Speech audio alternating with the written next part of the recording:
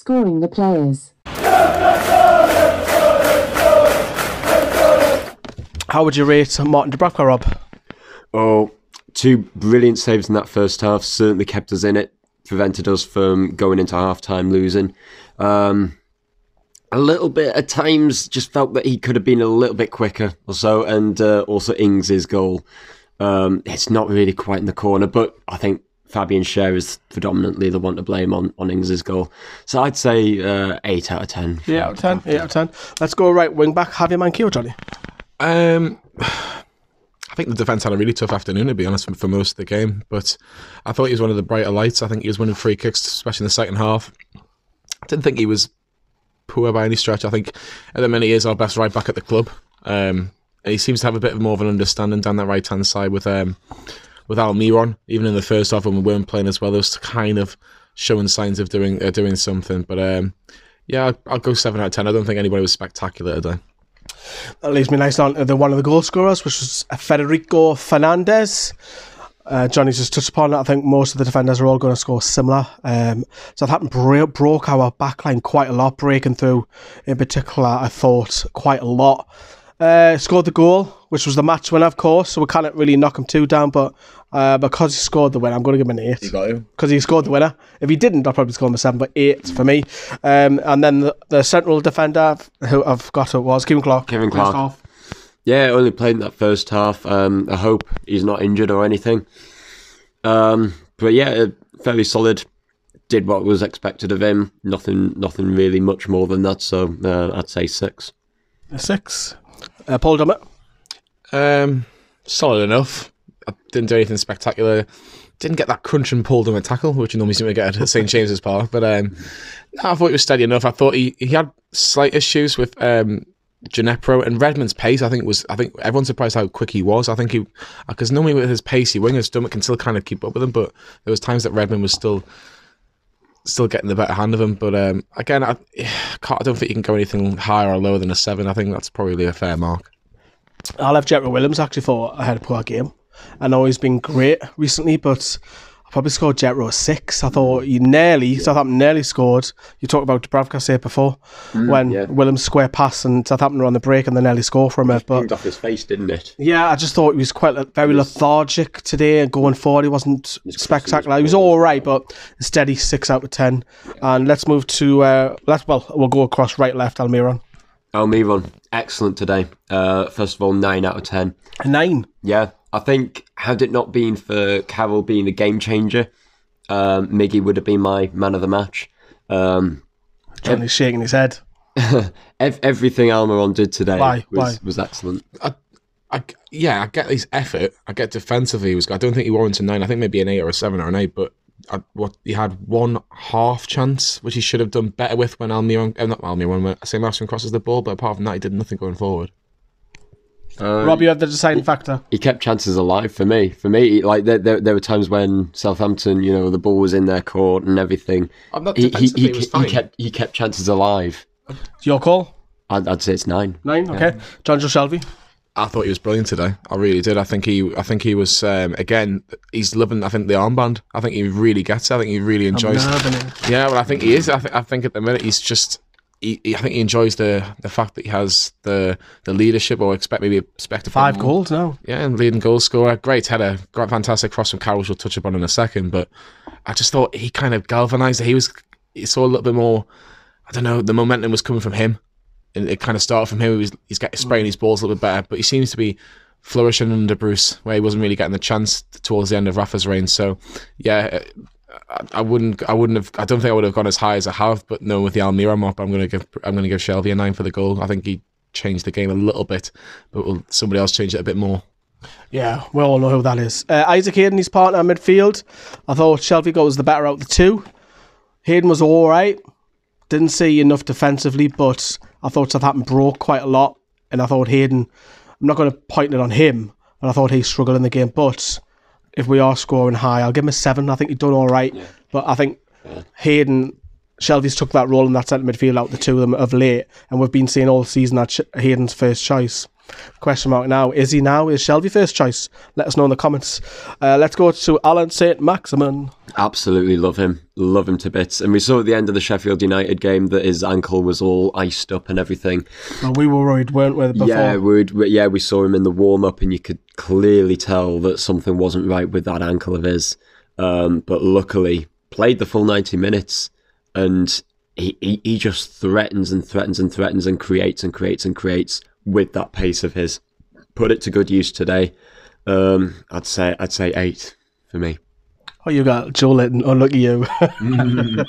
I defended him quite a lot last week because I, I, I thinking of the opposition that he was up against, and I thought, well, he's not he's going to get scraps at the best of times against a team that, that no disrespect to Southampton that you would think, yeah, however, let's see what you're made of. Come on, that's that's where you get your goal. This is where you break your duck from how many games since the Tottenham game, which seems like a lifetime ago now. Woeful. It was really bad a day for him. I think it just seemed nothing could work. He just wasn't communicating. I just didn't think he had the fight, the battle. I just thought he just.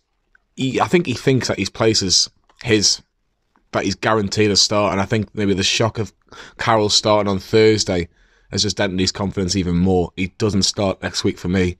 Um, Carroll has to start next week. He just there was just nothing coming off from him. Like I think one of the last things that happened before he got substituted, I think there was I think Almiron and him kind of ran at the same ball. Even the ninety nine percent of the of Newcastle fans knew that was Almiron's ball. And when he, Almiron flicks it on, he's like looking around, going, "Well, you're meant to be there." Um, I don't- I- this is tough. i I'll go two. wow, that I'll low. go two. I, thi- I, I, if anybody can tell me what he did otherwise, and considering last week I gave him, I think I gave him a seven last week against Manchester City, and where he didn't have a shot on goal against Southampton, I think he did less than that. And d- I think I think Southampton were going, "Phew, this is an easy day afternoon. As soon as Carroll came on, they're gone. I'd rather not. I, I- if anybody can explain why he should get more than a two, I think I'm even being generous with a two here. Let us know in the comments. I'm sure we'll talk about in the last word a little bit more as well. Uh, let's move to the subs. You've got Fabian Schär. No, actually, I'll do Fabian Schär since he's my man.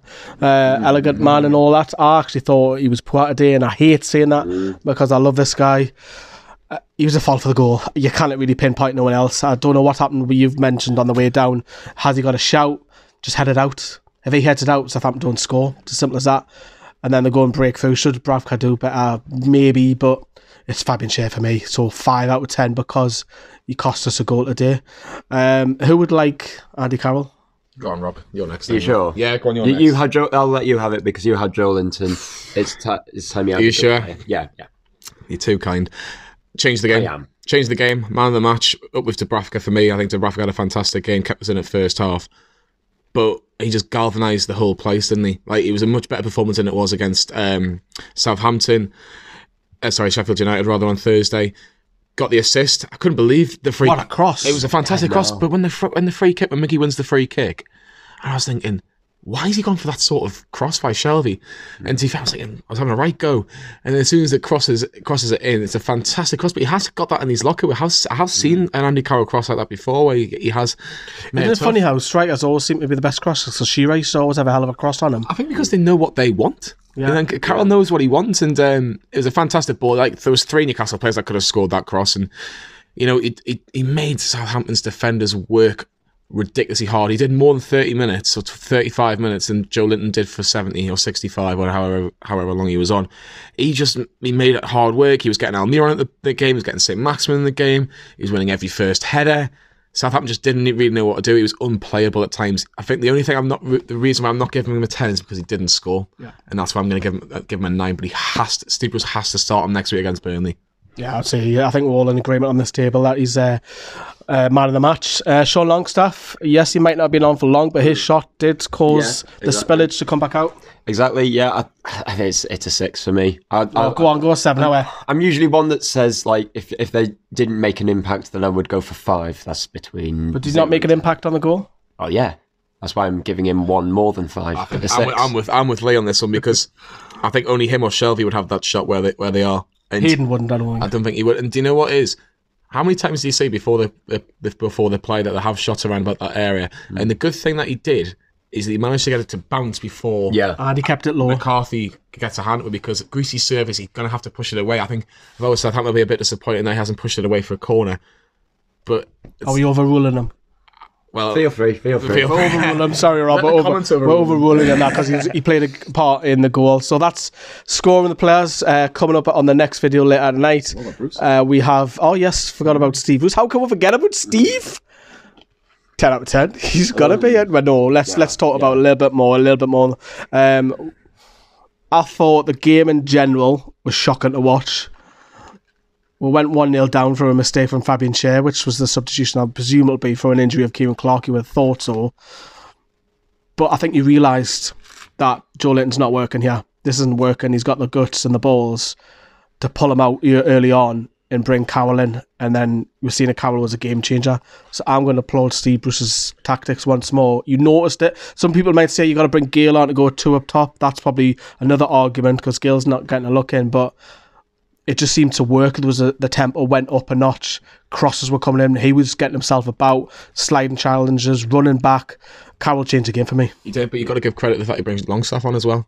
He, he, he changed it a uh, subtly a little bit. He got St. Maximin up front with Carroll, and he, he pushed uh, Willems a little bit more to the left, and he got long he got Longstaff. Go on, in. you can have a bit more space in the middle. Hayden pushed up a, t- a tiny bit more, and it just seemed to work a little bit. But um, no, I've, look. If someone said to you, like, we all did predictions of what we were, how many points we were going to get last week, I think none, I said four. none of us said six.